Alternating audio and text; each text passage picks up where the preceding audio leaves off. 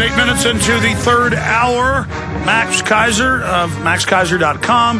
That television programs on BBC, Al Jazeera, RT, being picked up for its second highly rated season. Uh, he is with us. He's normally here once a month. This is his scheduled monthly visit, but I had him on last week because of the quickening and his predictions coming true.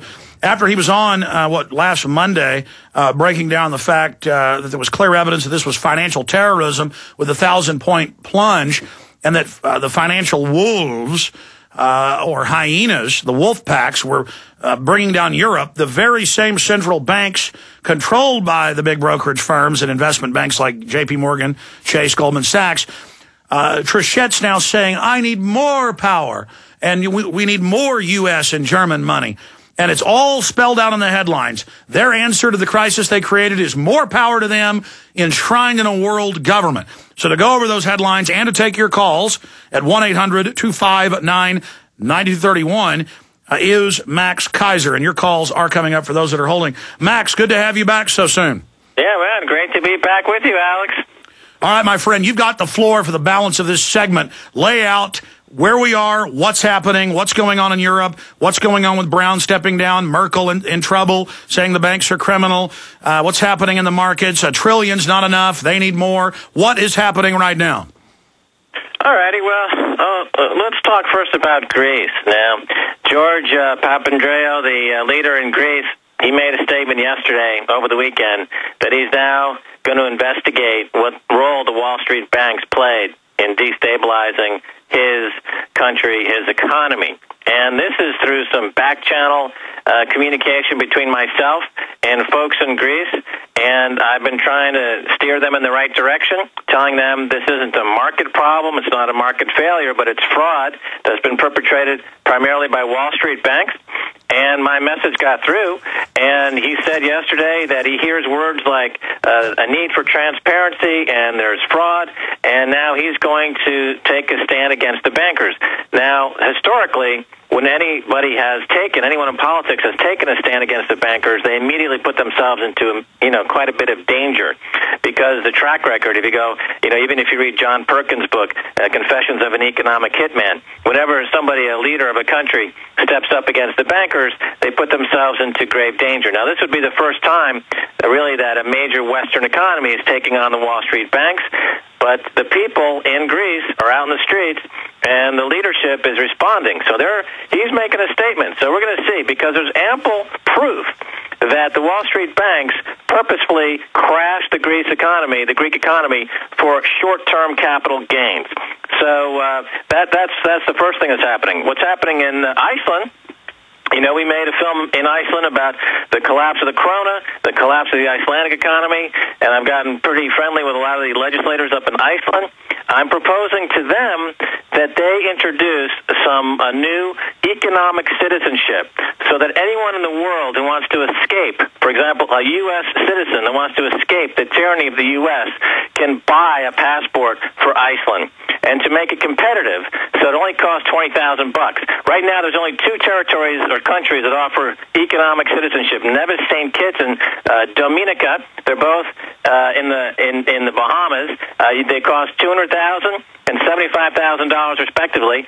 Respectively, I'm saying that Iceland, to be competitive, they can offer economic citizenship for twenty thousand dollars, and uh, they could get if they get uh, two hundred thousand or so, or half a million citizens from the U.S. to um, renounce U.S. citizenship and move to Iceland, they could raise ten billion dollars immediately to help recapitalize their country, and they are talking about uh, inter- rewriting their constitution in ways that are going to favor free speech and freedom of the press.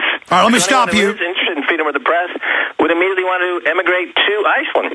So we have these pockets of resistance and pockets of strength from the work that you're doing directly uh, and the work I've been doing. And now these people are starting to respond because the global insurrection against the banking occupation is on. Okay, the global insurrection is on. I want to interject this and, and uh, get your take on it, and, and I want to back you up here and, and have you continue. Uh, this is French news agency. Bankers jailed, sued as Iceland seeks culprits for crisis. Then a week ago, we saw the Merkel headline where she called, you know, it criminal banks causing this, though she's bought and paid for uh, by them. So isn't that the danger uh, with the Greek leader and others is that they see the headlights of the train coming, the global insurrection against the banking cartel. They know they can't survive unless they put it into a process and then maybe Goldman Sachs or JP Morgan will flush down the toilet some mid-level trader, you know, uh, on a sub issue like Timberwolf uh, with Goldman Sachs. I mean, isn't there a danger of that? Because I've been all over uh, Greek radio and um, uh, newspapers as well saying arrest the bankers, you know, arrest Goldman Sachs. And so you've been putting the pressure on. Many others have been putting the pressure on. So that's a great idea. Uh, secondarily, how you brought up expatriates. We have the New York Times saying record numbers of wealthy people uh, who aren't globalists leaving uh, because they say this is the last year to get your money out, just fleeing in mass. I'd rather flee to somewhere like Iceland, but I don't even have enough money, I don't think. Like you said, if it was $200,000, then I think I'm going to stay here and go down with the ship. But for people that do want to escape and be about uh, to be around like-minded people. But what about uh, the arrests that they're reporting in Iceland? That's right. Uh, one of the bankers in London, uh, who they they say, uh, and rightfully so, was responsible for uh, pilfering two billion dollars from the economy, is now uh, being prosecuted. And um, you know, it's funny because London is where a lot of these guys go uh, to get because the the hedge fund industry and the banking industry laws are very lenient there, and you end up with a lot of the international banking crooks end up in London, which is one of the reasons why the real estate market in London, uh, on the high end, the very expensive uh, residencies hasn't uh, crashed so much because they're supported by all these uh, billionaires from these uh, territories that they've uh, absconded with all the wealth. So Iceland is actively going after uh, this guy. And it's funny because in the indictment, they use a very interesting word, Alex. They use the word counterfeiting. Now, this is fascinating because counterfeiting in the context of financial crime and financial terrorism it points to what what's what um, people know as naked short selling. Naked short selling is the, is really one of the most common incendiary financial devices used to blow up an economy and to blow up a, a country, to blow up a, a, a company. We saw with Lehman Brothers and Bear Stearns, naked short selling. You're selling something, you're selling a security that doesn't exist which is the same as counterfeiting. So now, if they bring this whole naked short selling scam to the surface and they call it what it is, counterfeiting, that that would point the finger at a lot of the uh, criminality that's gone on in the last five to ten years, and really bring bring in all the banks because they're all guilty of this naked short selling to a huge degree.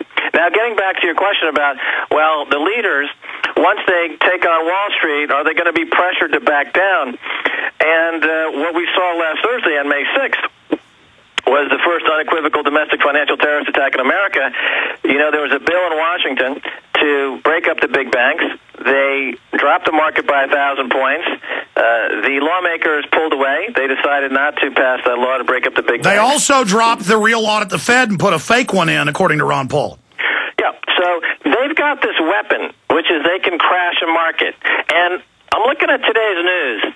And you see now that the financial terrorists are not shy about threatening to blow up people's economies and markets. For example, this is in today's news.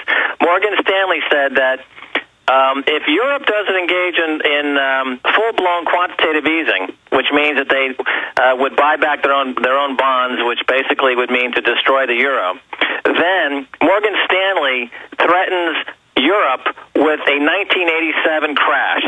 Look this up. Morgan Stanley, full-blown quantitative easing may be needed to save Europe, or else we'll see a 1987-style crash. So they're threatening Europe with a 1987. That's Morgan Stanley, a Wall Street bank, is, is threatening the entire Eurozone.